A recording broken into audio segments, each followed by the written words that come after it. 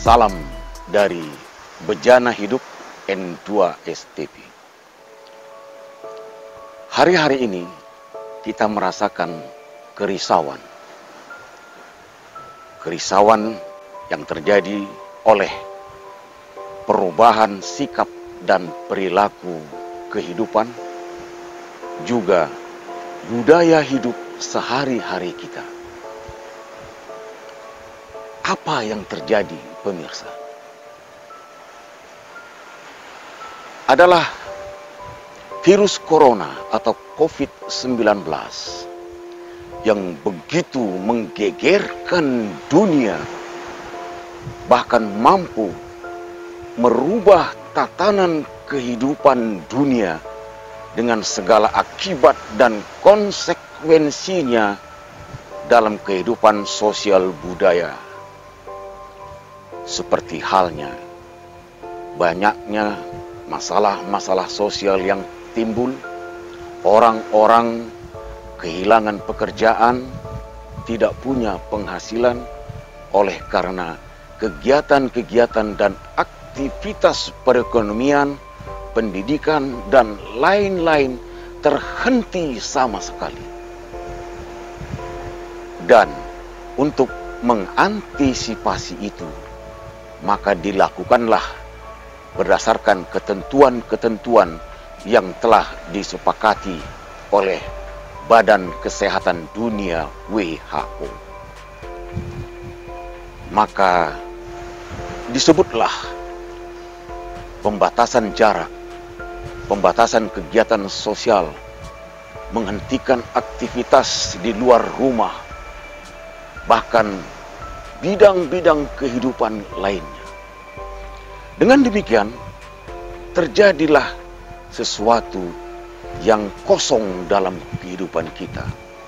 Tatanan budaya yang terputus ataupun mungkin mulai hilang sama sekali. Pemirsa, hari ini kita pun mulai diberi aba-aba akan memasuki sesuatu yang baru, new era, zaman yang baru, atau istilah yang biasa kita dengar, new normal. Kehidupan normal yang baru. Apakah itu sesuatu yang mengagetkan bagi perilaku kehidupan, tatanan sosial, dan budaya kita? Benar, pemirsa.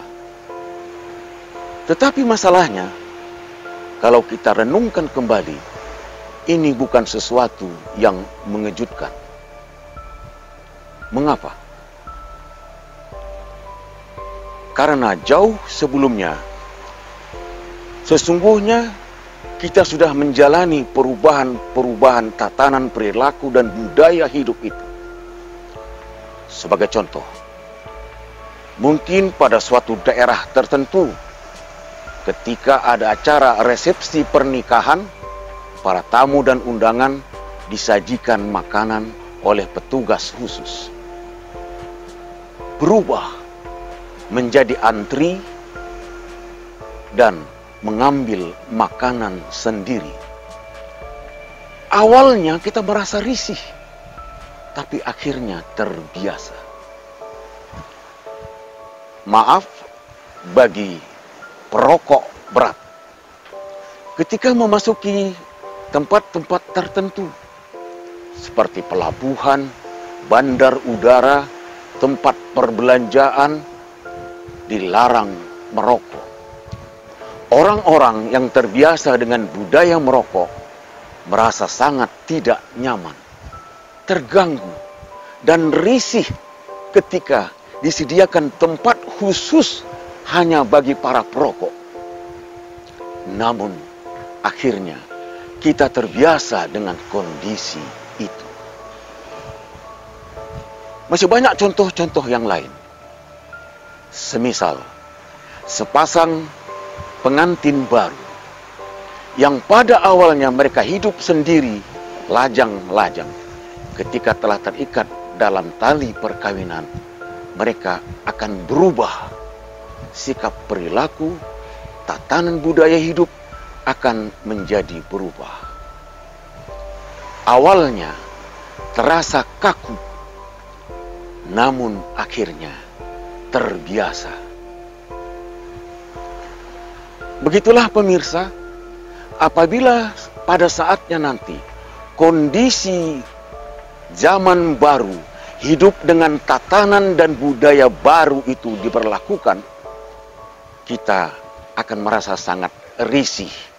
Semisal, ketika kita menghadiri resepsi perpisahan, kita tetap harus mempergunakan masker atau tetap jaga jarak mengambil tempat duduk untuk makan, antri yang berjarak ketika mengambil makanan atau minuman, pasti kita merasa tidak nyaman. Tetapi akhirnya kita akan terbiasa dengan cara-cara seperti itu. Contoh lain yang paling sederhana, misalnya para siswa di sekolah-sekolah atau para mahasiswa tapi yang paling tepat memang para siswa, para pelajar. Yang biasanya satu meja duduk berdua.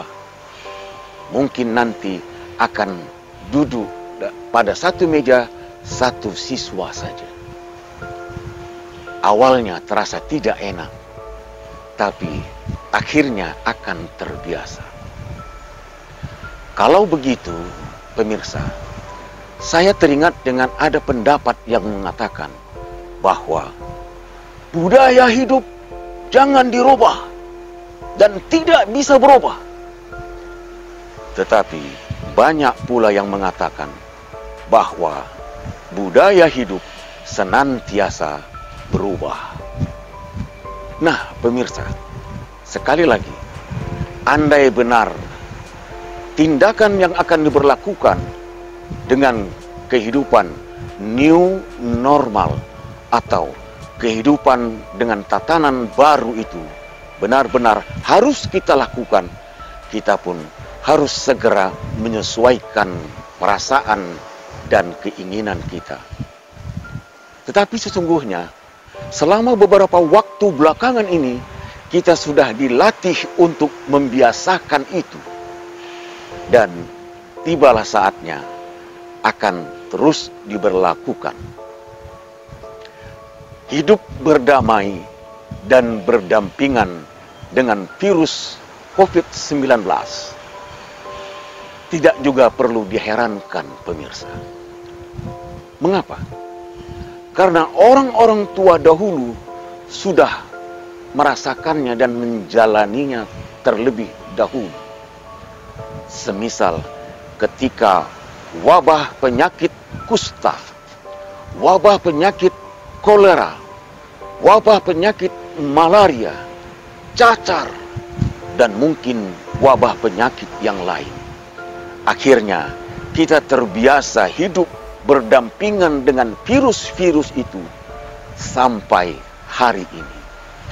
Begitulah nanti kondisinya pemirsa. Kita pun akan terbiasa hidup berdampingan dengan virus yang berbahaya COVID-19.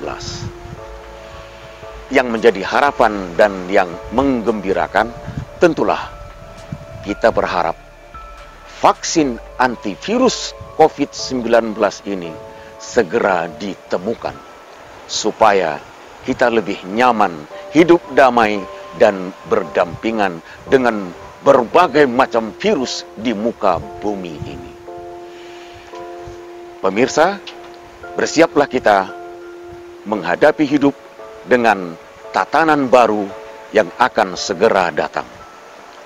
Semoga kondisi itu tidak menjadi sesuatu yang berlawanan dengan pikiran, hati, dan perasaan kita. Semoga bermanfaat. Terima kasih telah menyaksikan Bejana Hidup N2STP. Salam dari saya, sampai jumpa.